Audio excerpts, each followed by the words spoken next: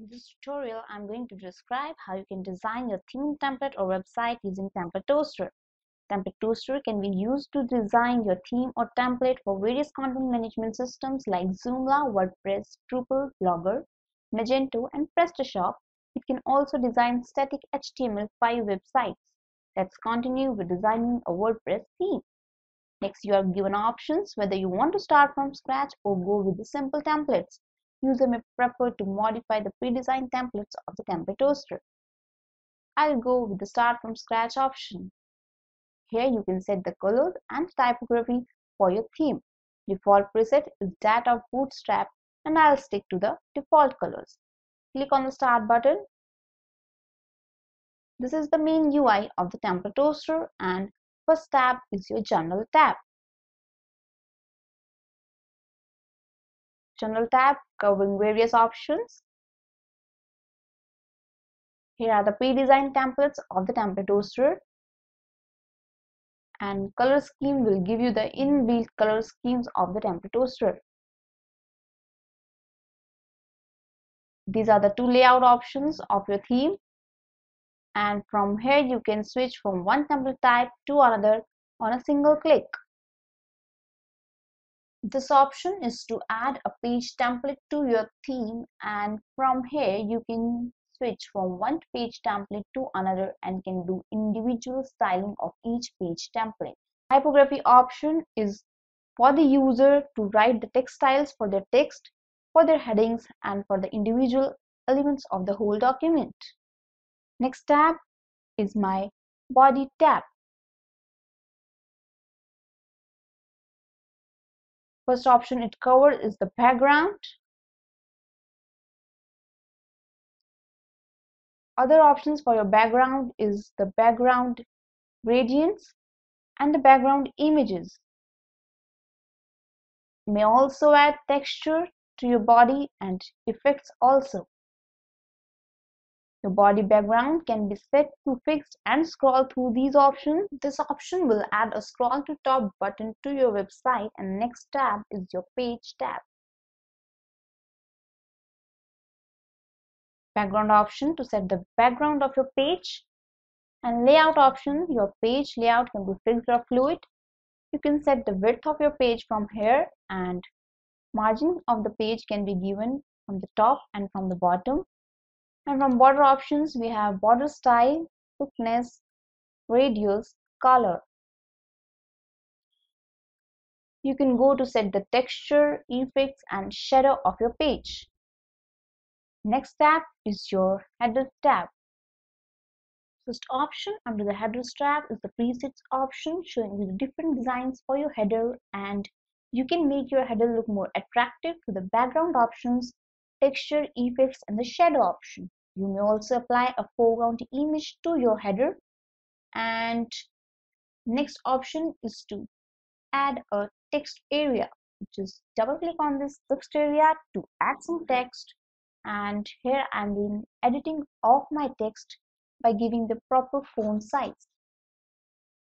Now you can design your text area with options like background, effects and border Next option is the header title option and various designing options for the title are typography and heading type.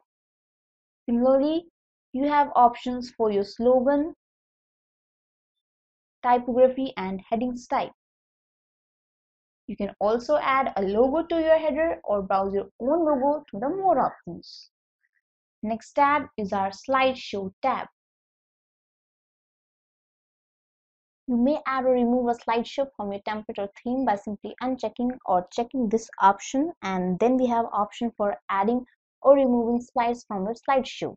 Next two buttons meant for moving to next or previous slides and in order to give a dazzling look to your slideshow you can use the various transition effects from the drop down and can do better designing with the background options, layout options, texture, effects and the shadow options. Just like in case of header, you may also add a foreground image to the slideshow and to this foreground image you may add a transition effects just like I am applying the fading. Similarly, we have options like slide effect and the easing effect for the foreground image. You can draw a text area to the slideshow and these are the various designing options for your text area like background effects, border, transition effects, slide effect and the easing effect. Here in this theme, I'm not using slideshow so I'm unchecking this option and next tab is my menu tab. First option under the menu tabs is the presets option giving the redefined designs for your menu and you can make your menu look more catchy through the background options, layout options, effects option and logo can also be added to the menu from the gallery, foreground image and text area can also be added. Various options for the menu buttons are separator, height, margin, padding and alignment. Alignment options can be left, center, right and justify. I'm choosing it to be center only and designing of the menu buttons can be done through the background option, border option and typography option. You can choose your submenu to open or click or hover of a mouse. Submenu layout can be chosen to be mega, vertical or horizontal. And for the more attractive and efficient designing, various submenu container options and submenu item options have also been provided. Next tab is our sidebar tab. First option under the sidebar tabs is the layout option and from here you can set your sidebar. I'm setting it to the left sidebar. Various styling options for our sidebar is the background, layout options, effects option and next tab is our widgets tab. Under the widgets tab, first option is the presets option showing you the designs for your widgets. You can do the styling of your widgets to the container properties option or header properties option and the content properties option. Next tab is the sidebar menu tab. Presets will give you the redefined designs for your sidebar menu.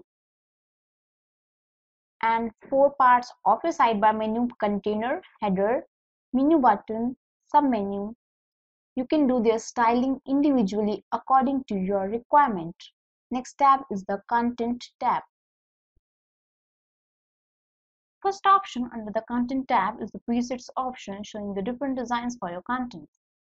And these are the various options under the content properties like border, margin, padding, and line height, and various designing options like background, texture, effects, and shadow. Parts of your content are post, comment form, and comment. And first we will discuss the post option this is our post part where I'm applying the background now and various options under the post are here.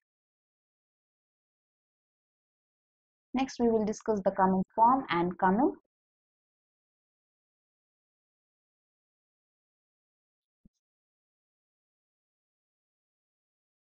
This is our comment form and various options for the comment form are border, margin, padding, shadow, and typography. And here I'm applying the background to the comment.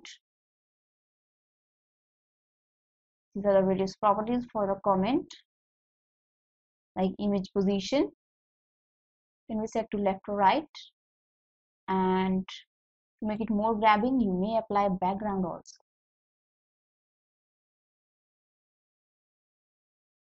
now we are going to talk about widget areas and next is our widget areas tab widget areas are most important part of our theme and we can add as many as widget areas.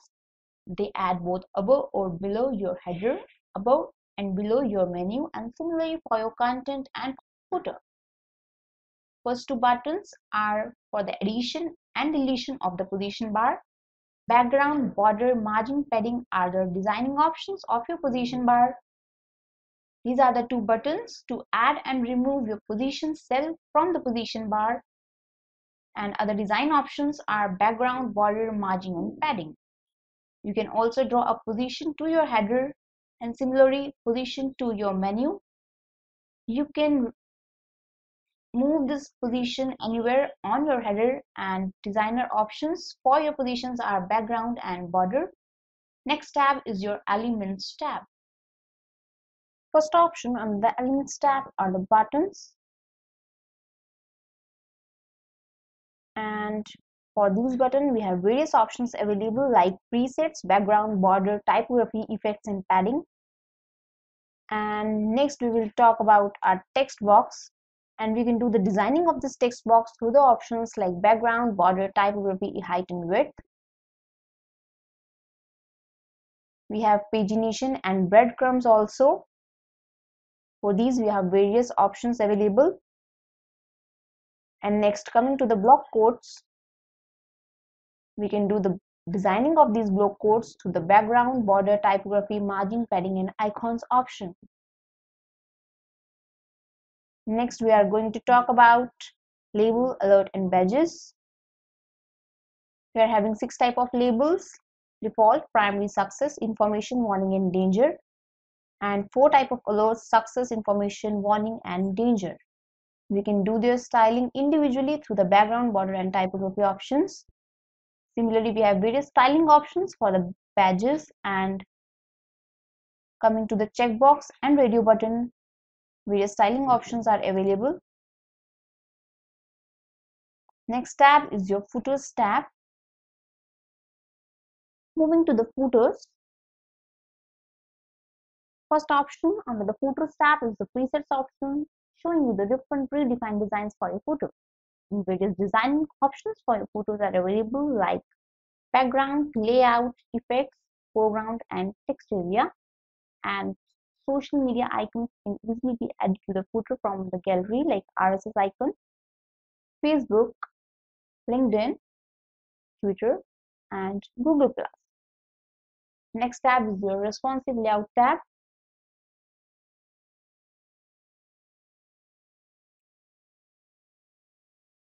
From here, you can check or uncheck this option whether you want your design to be responsive one or not here I'm choosing it to be responsive. And you can see your design prepared in tablet just on a single click.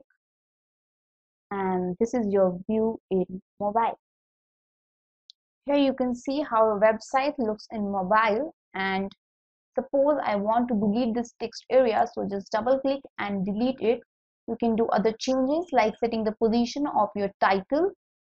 Now back to desktop here the changes made in mobile are limited to your mobile only.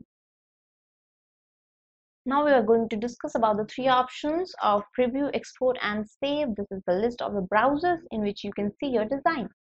I prefer to see my design in Mozilla Firefox.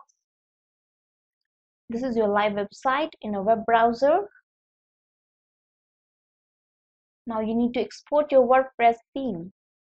Here I'm exporting my theme with the name demo and export. Last but not the least, you need to save your design for future editing. This is the save button on the quick access toolbar. And I'm saving my design with the name demo. That's all. Thanks for watching. You can download Template Toaster from www.templatetoaster.com slash downloads. Thank you. Thank you so much.